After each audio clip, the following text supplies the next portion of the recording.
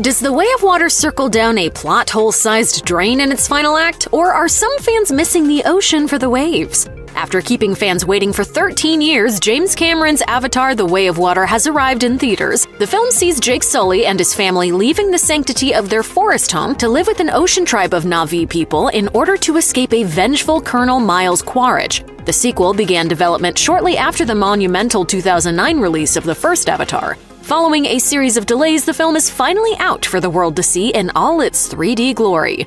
Let's get it done.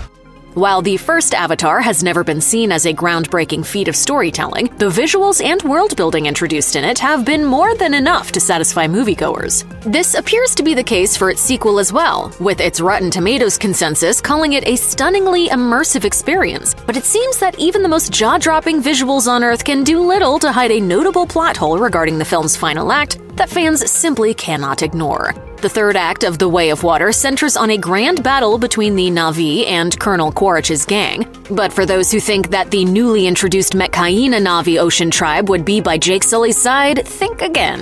On a Reddit thread discussing the film, one user points out, Maybe I missed it, but does anyone know where the Sea Na'vi people went halfway through the third act? They go on to describe how the Metkayina disappear following their fight to protect the whale like Tulkuns, leaving Sully and his family to go against Quaritch's gang alone.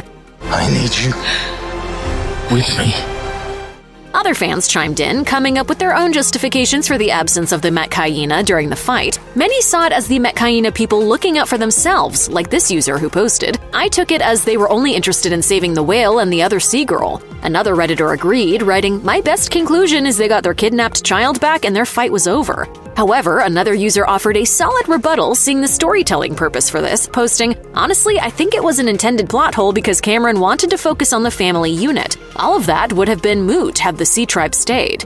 While the Metkayina could have had a more active hand in the final act of Avatar The Way of Water, this is far from a reflection of their involvement throughout the rest of the franchise. With the end of Way of Water confirming that the Metkayina will be helping Jake Sully in his ongoing battle against humanity, and director James Cameron confirming that Avatar 3 will be coming out, it seems that we've only touched the surface of what the waterbound tribe has to offer. Kate Winslet, who portrays the Metkayina chief's wife, Ronal, in Way of Water, says that her character in particular is a crucial piece of the puzzle in the future of the Avatar universe. In an interview with Variety, the Titanic star said, Whilst my role is actually relatively small comparative to the lengthy shoot, it is a pivotal character in the ongoing story.